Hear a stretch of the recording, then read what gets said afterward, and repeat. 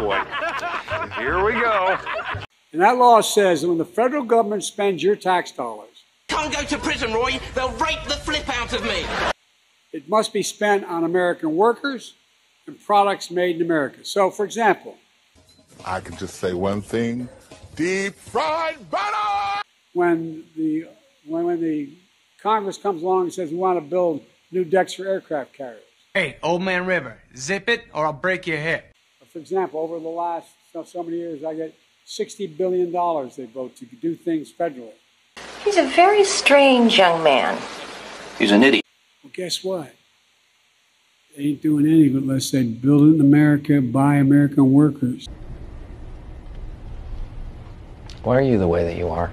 Because for the last 50 years, the vast majority of Democrats and Republicans did not insist on that. Did not. That's what I mean by made in America. Well, guess what?